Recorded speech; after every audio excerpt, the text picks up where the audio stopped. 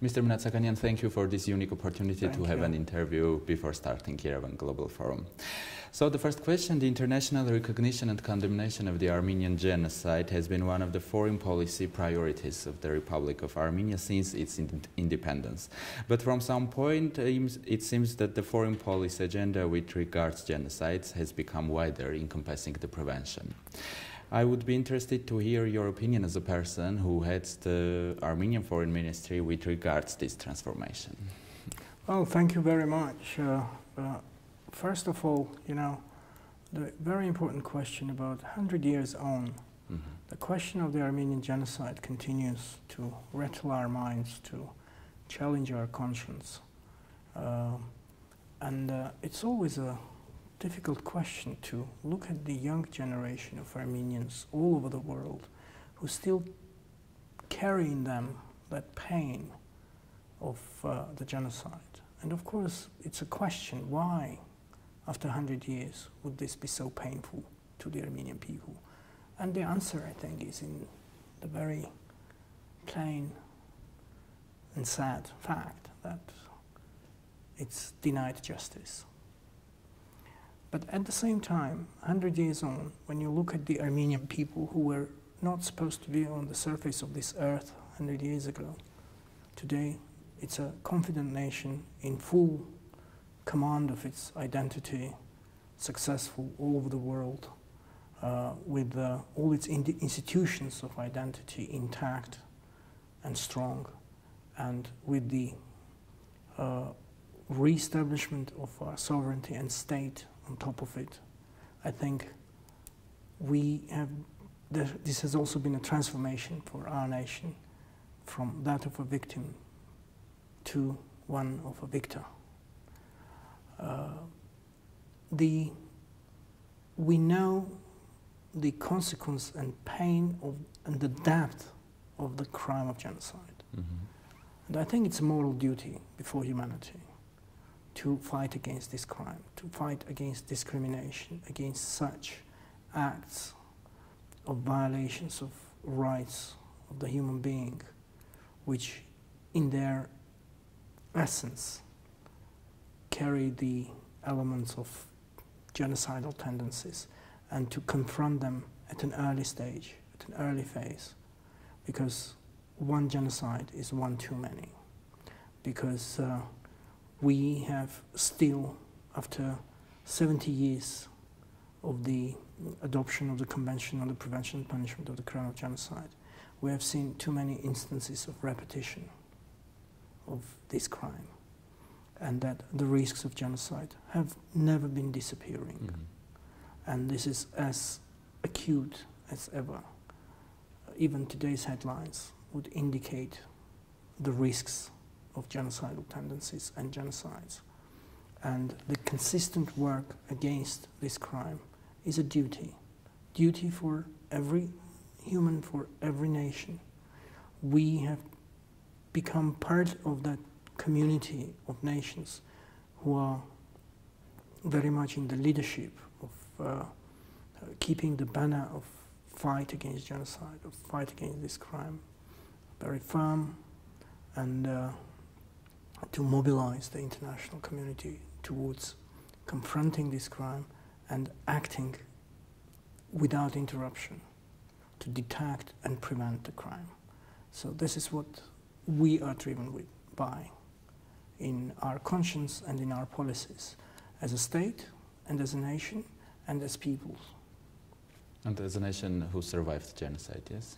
As a nation who survived, that's what I was saying. Mm -hmm. As a nation who has been going through its own transformation from a victim to a victor. Thank you. So let's speak about Global Forum. It means global action on the part of international community with uh, combined and coordinated efforts at local and global levels aimed at early detection and prevention of genocides and crimes against humanity. At the same time, we are witnessing a serious decline in the commitment of states towards multilateralism, including in the area of human rights protection. Can this be considered as a warning sign? What measures could be taken on the multilateral platforms to develop the early prevention mechanisms? Uh, yes, you're right about the many challenges mm -hmm. towards the sound foundations uh, of uh, protecting basic human rights. Uh, the national interest cannot be detached from the important priority of protection and promotion of human rights and fundamental freedoms. They are at the heart of prevention. Every single human rights violation may be looked at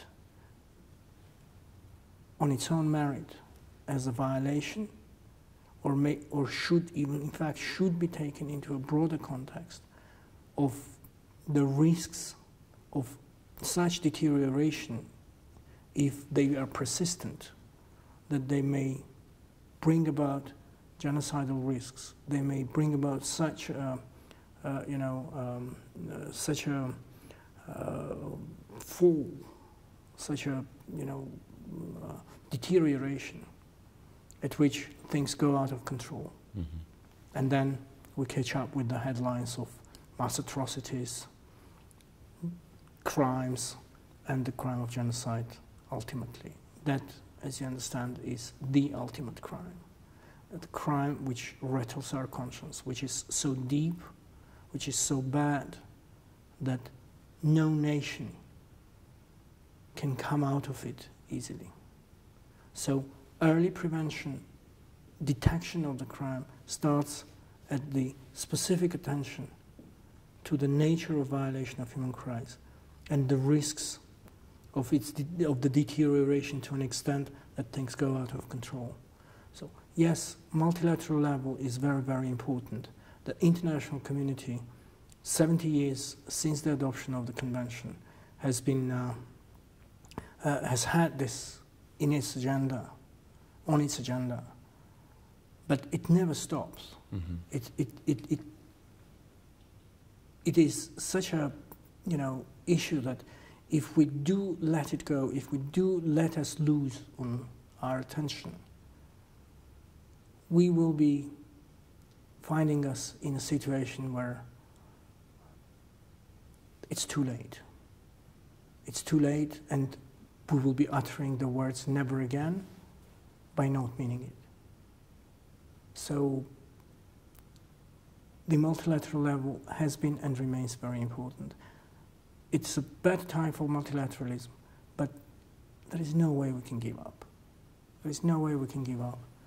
The prevention, in fact, the multilateral, as much as it is important, the prevention starts at the national level. It's the responsibility of every nation, every government in the world to, to create such sound foundations of protection that they can uh, confront the risks of uh, deterioration at an early stage. So early prevention, early detection, early warning signs, every, every such human rights violation should serve as a warning sign against deterioration. So early prevention is at the heart of our action, at the heart of our concept of prevention. And we have been very consistent in this. We have been very consistent for 20 years now.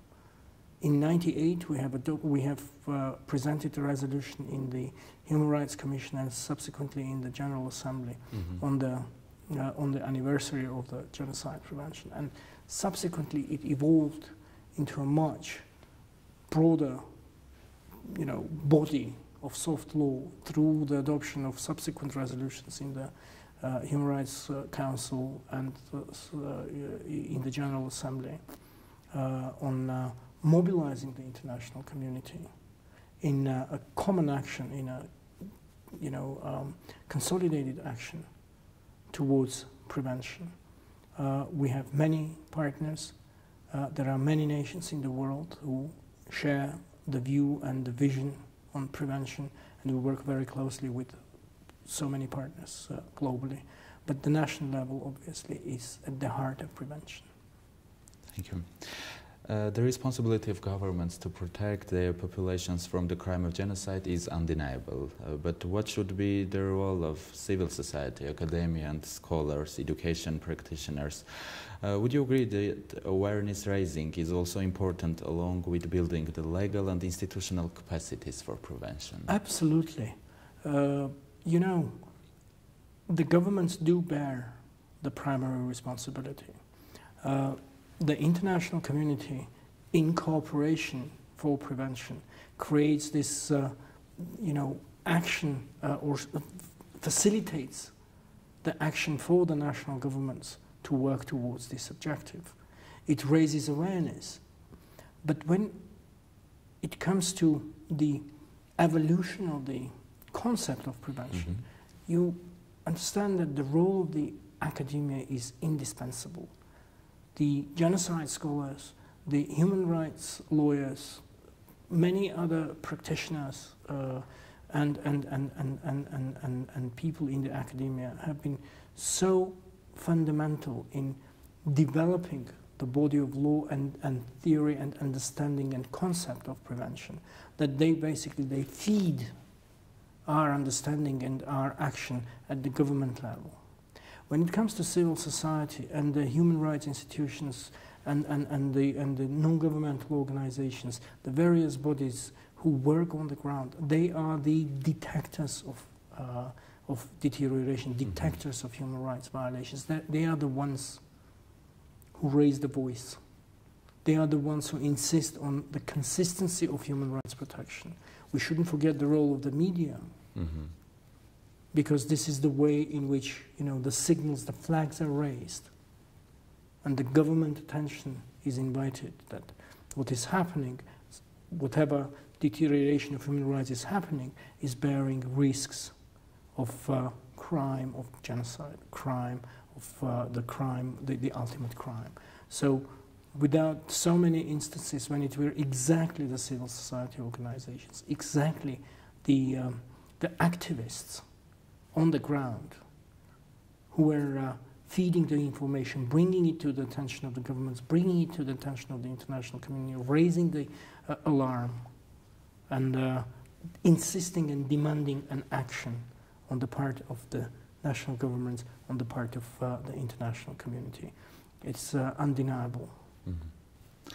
And the last question this year, we host the third uh, Global yes. Forum against the crime of uh, genocide with the topic of education, culture, and museums as uh, components of prevention efforts. We see quite an impressive list of speakers from representatives of international organizations to scholars and practitioners uh, who will share their views and approaches uh, as to how the education and culture can or should contribute to prevention of genocides and other crimes against humanity. Are there any plans to continue continue the relevant Global Forum's contribution of Armenia to the academic discussion on the best ways and means of prevention of genocides. we have been building this platform of the Global Forum since 2015.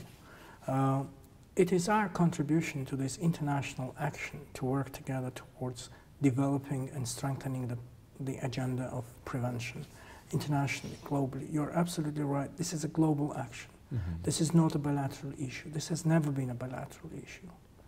What we deal with in our bilateral agenda is a separate thing.